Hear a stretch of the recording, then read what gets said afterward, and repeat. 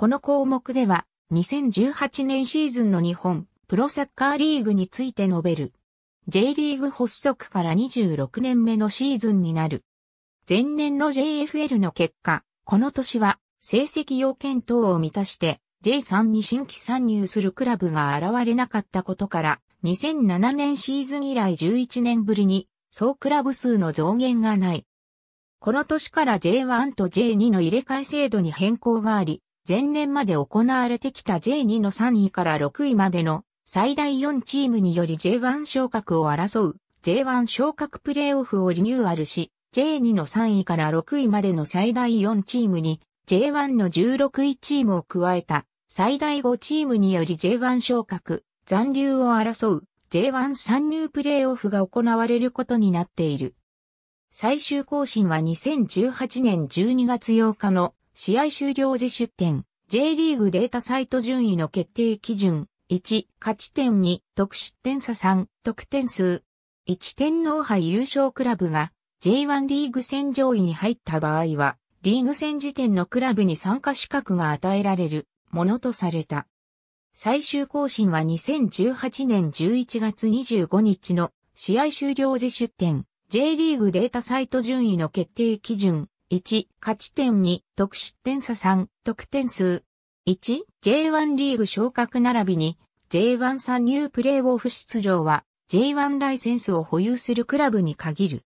2、J3 リーグ降格は J3 リーグの上位2チームに J2 ライセンスを保有しないクラブが入った場合は対象チームが変更となる。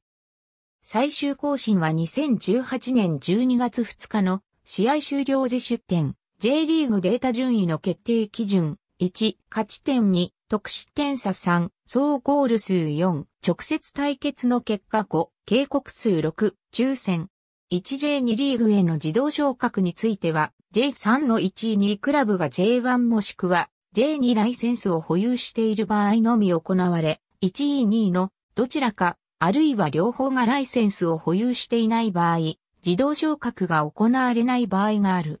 22位までに U-23 チームが入賞した場合、U-23 チームを除く13チームの成績をもととして自動昇格チームを決定する。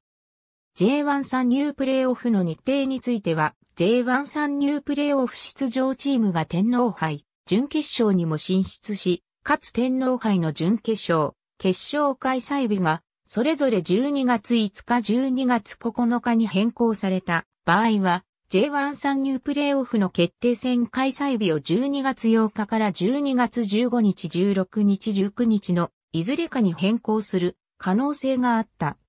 J2 の4位に J1 ライセンスを持たない FC、町田ゼルビアが入ったため、J2 から3チームと J1 の16位による争いとなった。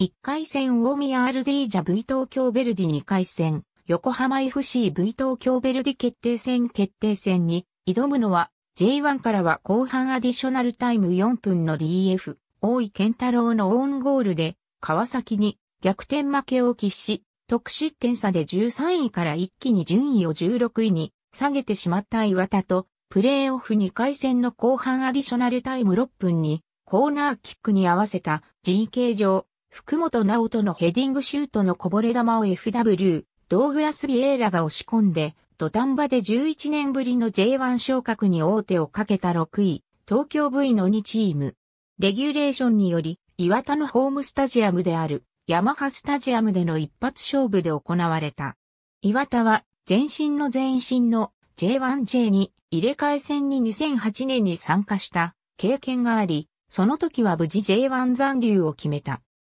両、チームとも直近の試合からメンバーを変更して臨んだ。この試合、試合が進むにつれて、岩田が出足の鋭いプレスで攻勢を強め、前半40分、岩田 MF、山田大輝のスルーパスに反応して抜け出した岩田 FW、小川渡元がペナルティエリア内で東京 V の GK 上、福本直人に倒され PK を獲得。これを小川自ら冷静に決めて岩田が貴重な先制点を挙げる。後半に入っても攻勢を強める岩田は後半33分ペナルティエリア手前でフリーキックを獲得すると岩田 MF 田口康の放ったボールは絶妙なタイミングでしゃがんだ、味方の頭上を抜いて、ゴールに突き刺さり、岩田が決定的な2点目を挙げる。このまま岩田が2の0で勝利し、J1 残留を決めた。一方、東京 V は岩田のハイプレスの前にボールを保持する普段のスタイルを発揮できず、シュートわずか2本に終わる完敗を喫し、力の差を見せつけられた形となった。ジュビロ岩田 V 東京ベルディ J リーグアウォーズは2018年12月18日に開催された。J1 の6月、J2 の12月は試合がなかったため表彰選手がいない。2018年9月27日、J リーグは2019シーズンのクラブライセンスのうち、J1、J2 のライセンスについて、クラブライセンス交付第一新規関による審査結果を発表した。J2 ライセンス以上については、J1、J2 の40クラブ、J3 の8クラブの計48クラブから申請があり、申請した48クラブすべてにライセンスが交付された。水戸は初の J1 ライセンス、秋田は秋田市八橋運動公園陸上競技場を本拠地にすることを条件として、初の J にライセンス交付となる。なお、水戸はシーズン終了時に解除条件である J1 昇格のための順位要件を充足し、スタジアムの短期改修工事を行う要件を満たさないことが確定したため、11月19日付で J にライセンス付与へ変更された。